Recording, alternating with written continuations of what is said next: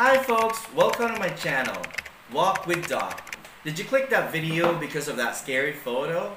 Tell you what, that thing is for real. I'm going to go ahead and discuss to you the real deal about diabetes.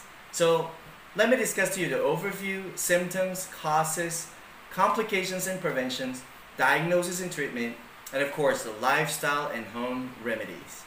Today I'm going to share to you the real deal about diabetes and the naked truth that might revolutionize the treatment of your diabetes.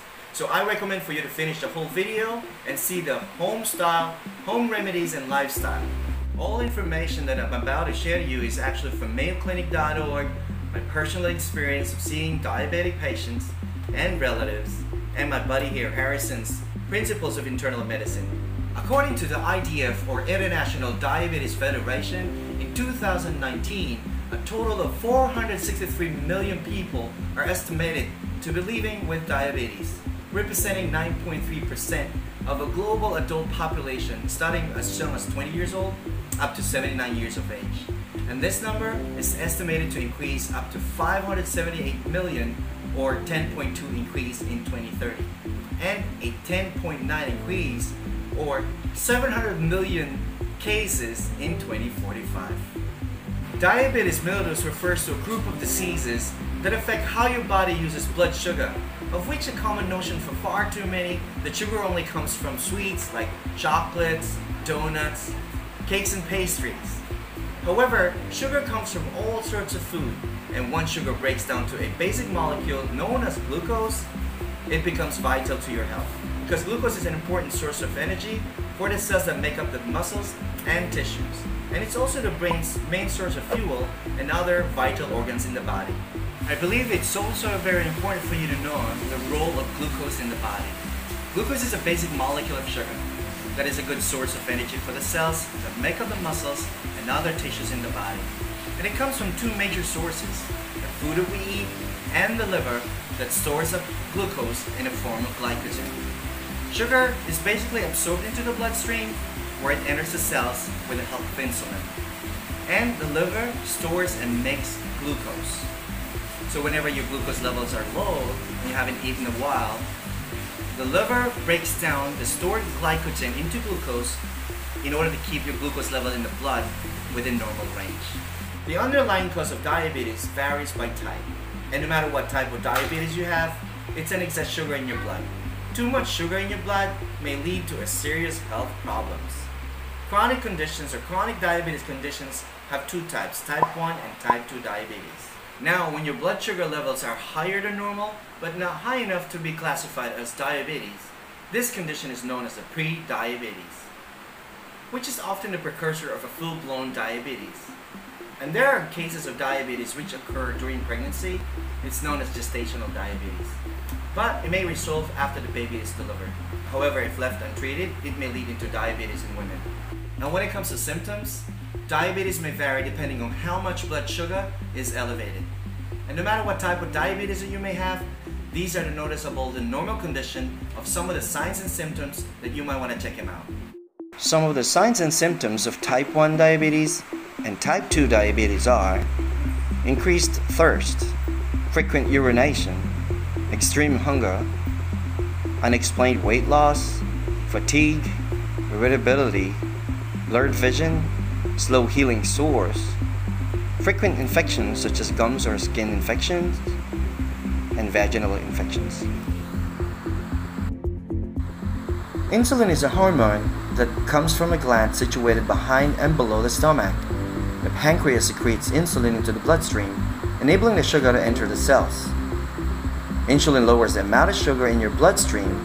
As blood sugar levels drops, so does the secretion of insulin from your pancreas. And yet, there's a lot of misconceptions about diabetes. So let's clear out what's facts and what's fiction.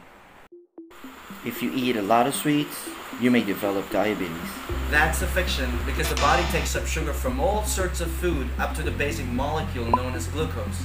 So in a normal condition, when you have a high blood sugar level after a meal, it'll go back to its normal level from 2 to 4 hours period of time.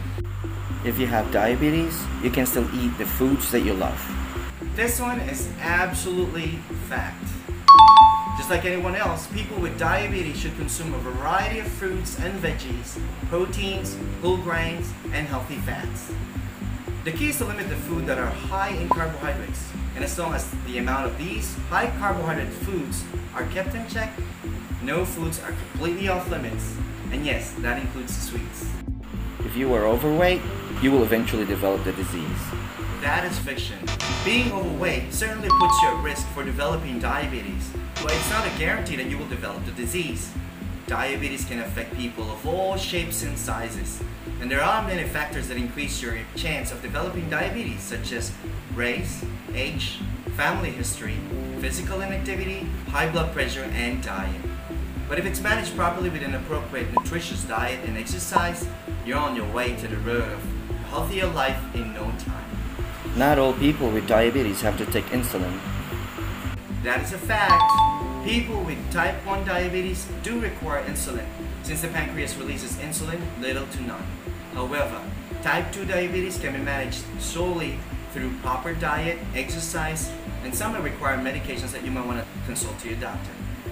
And with a recent study and scientific breakthrough, intermittent fasting can reverse your diabetes type 2 without the aid of insulin.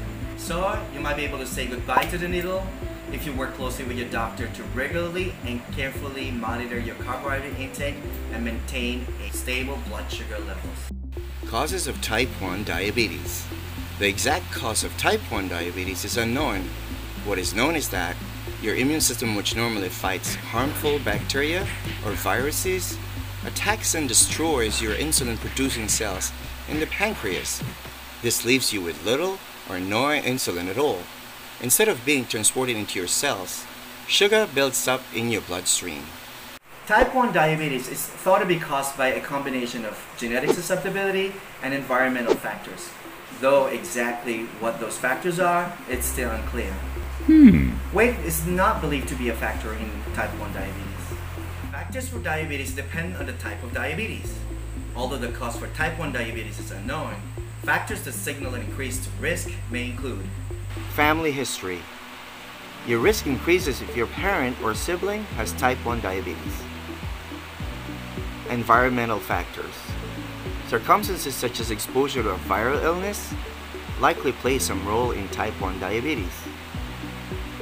The presence of damaging immune system cells are also known as autoantibodies. Sometimes family members of people with type 1 diabetes are tested with the presence of diabetes autoantibodies. If you have these autoantibodies, you have an increased risk of developing type 1 diabetes. But not everyone who has these autoantibodies develops diabetes. Geography Certain countries such as Finland, Sweden, have higher rates of type 1 diabetes. Causes of prediabetes and type 2 diabetes. In these type of diabetes, your cells become resistant to the action of insulin. Hence, pancreas is unable to make enough insulin to overcome this resistance. Instead of the sugar moving into your cells, where it's needed for energy, sugar builds up into your bloodstream. Exactly why it happens is uncertain, though it's believed that genetic and environmental factors also play a role in the development of diabetes type 2. Being overweight is also strongly linked to the development of type 2 diabetes, but not everyone in type 2 diabetes is overweight. As I mentioned previously, diabetes affect people of all shapes and sizes. Risk factors for prediabetes and type 2 diabetes. Researchers don't fully understand why some people develop pre-diabetes and type 2 diabetes and others don't. However, it's clear that certain factors increase the risk, including Weight. The more fatty tissue you have, the more resistant your cells become to insulin. Inactivity. The less active you are, the greater your risk of developing type 2 diabetes.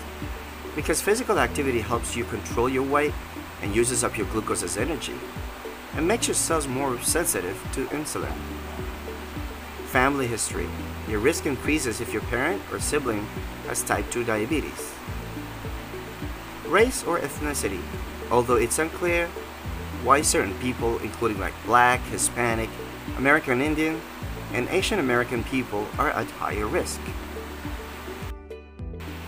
Polycystic ovary syndrome. For women having polycystic ovary syndrome, a common condition characterized by irregular menstrual periods, excess hair growth, and obesity increases the risk of diabetes. High blood pressure. Having high blood pressure of 140 over 90 millimeters of mercury is linked to an increased risk of type 2 diabetes. Abnormal cholesterol and triglyceride levels. If you have low levels of high density lipoprotein, or known as the good cholesterol, or HDL, your risk for type 2 diabetes is higher. Triglycerides are another type of fat carried in the blood. People with high levels of triglycerides have an increased risk of type 2 diabetes. Your doctor can let you know what cholesterol or triglyceride levels are. Age. Your risk increases when you get older. This may be because you tend to exercise less, lose muscle mass, and gain weight as you age. Causes of gestational diabetes. The causes of gestational diabetes is hormonal in origin. During pregnancy or gestation, the placenta produces hormones that sustain the pregnancy itself. However, these hormones are the ones that make up the cells more resistant to insulin. Normally, your pancreas responds by producing enough extra insulin to overcome this resistance.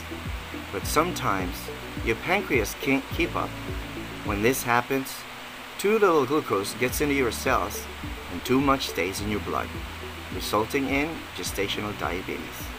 Risk factors for gestational diabetes. Pregnant women can develop gestational diabetes. Some women are at greater risk than the others. And here are the risk factors for gestational diabetes. Age. Women older than 25 are at increased risk. Family or personal history. Your risk increases if you have prediabetes. Or if a close family member, such as a parent or sibling, has type 2 diabetes. You're also at greater risk if you have a gestational diabetes during your previous pregnancy or if you had an unexplained stillbirth. Weight. Being overweight before pregnancy increases your risk. Complications. Long-term complications of diabetes develop gradually. However, the longer you have diabetes and the less controlled your blood sugar level is, the higher the risk of complications. Eventually, the diabetes complications can be disabling or life-threatening, so please watch this.